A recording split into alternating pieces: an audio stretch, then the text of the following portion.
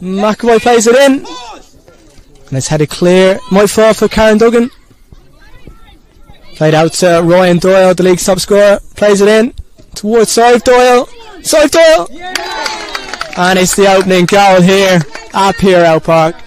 Sadhbh Doyle with the finish. What you make of that goal, Megan? Great play by Ryan Doyle and then finished well by Sadhbh Doyle. Yeah, really good play by Peamount. Um, just before uh, made that run down the line, leading up to the goal, you could hear Karen Duggan uh, giving instructions out to the girls on the pitch to make them runs into the channels. And as you see, see in there, Alana made a really good run uh, for Dervla and uh, picked up the ball down the line, good cross, and Down the line to Sadhbh Doyle. Here's Sadhbh Doyle.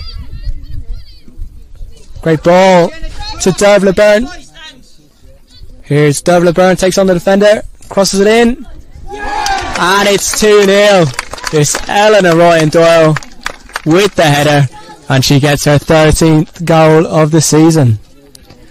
Great play there, Megan, and a great finish by Ryan Doyle as usual. uh, brilliant play by Peamount. I was actually just watching Eleanor a minute ago, and I was looking at her when she got on the ball uh, just before the goal, and I thought she was going to have a shot. But Eleanor's a very unselfish player, and I think, um, as you can see, she played the ball out to Sadhbh, and Sadhbh played a really good ball out to Dervla Byrne, good ball into the box, and Eleanor was in the right area at the right time to get that.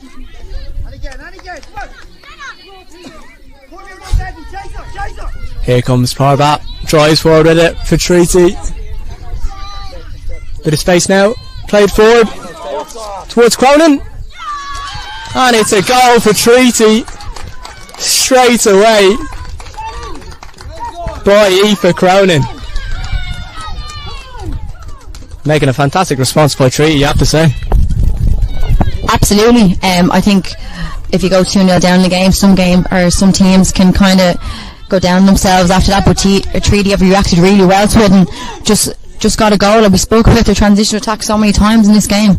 And uh, it was that was a prime example of it there. And Aoife Cronin used her pace really well, and because she worked, she worked really hard on her own up tops in the first half, and it's causing Peamount a few problems. The two of them are picking up pockets of space to get on the ball and get in behind. And just as I'm speaking now, Alana's through and I'm winning goal. Can Alana finish? Brilliant finish by Alana, well done. Three win Peamount. Brilliant finish by Alana McAvoy. A great goal by Alana McAvoy to make it 3 1 and regain Peamount's two goal advantage.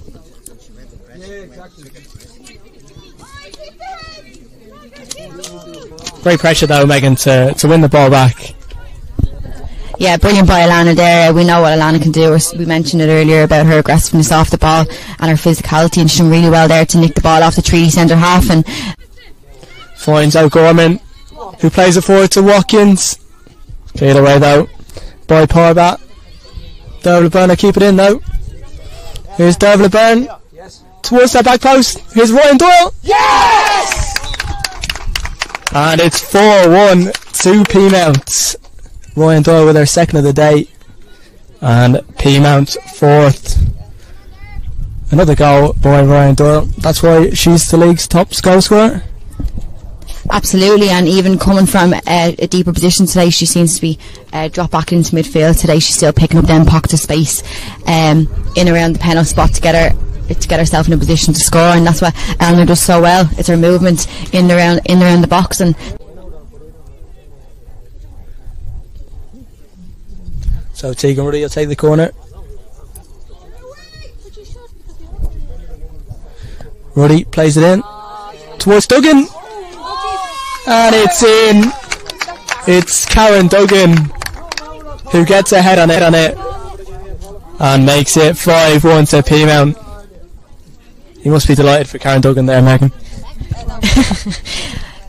Uh, no, in fairness to Karen Duggan, uh, she's one of our standout players the last two years. Uh, she's that anchor in midfield for us, and I think the goals coming particularly from corners.